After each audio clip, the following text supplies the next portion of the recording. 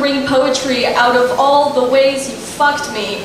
Tired of the dust-soaked hands, the grind of the bone dry. Isn't it supposed to be easier than this? Doesn't spring come and the rivers flow into the valley?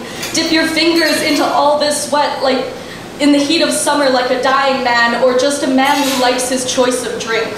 There's nothing beautiful enough in devastation to warrant its happening, no great literature worth the abuse. This is just a crumpled woman on the floor and her sobbing, the kind that's more drool and snot and mucus, more cage-like finger muzzle sonic rupture than star-crossed lover, than what could have been. Babe, I'm tired. I'm pissed drunk, walking home alone again, buoyant on the warm blankets of last night. Leave a girl drowning for long enough, and well, let me tell you the love poem I wrote for us. How it made me glow with pride. I asked a close friend what he thought it meant. He said, metaphor for a bad decision.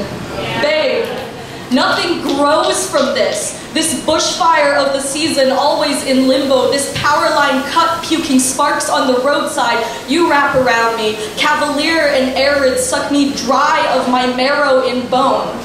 I've always been such sweet wine under your fingers. The way you siphon sweat and come neat. Mm. The thing about liquor and salt, though, is it always leaves you drier. This is a bottomless well. This is your breath as an asking, a passive sap and nonchalant mechanism.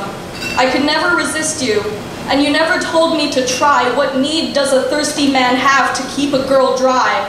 What need does a drowning girl have but breath? This is just a crumpled woman on the floor and her sobbing drool, mucus, snot. This is a bottomless well, sweat and cum. This is the path of least resistance pouring out of my lungs. Babe, I'm tired of this crumbling. I'm tired of holding on. I'm ready for my rainfall. I'll float on, float on.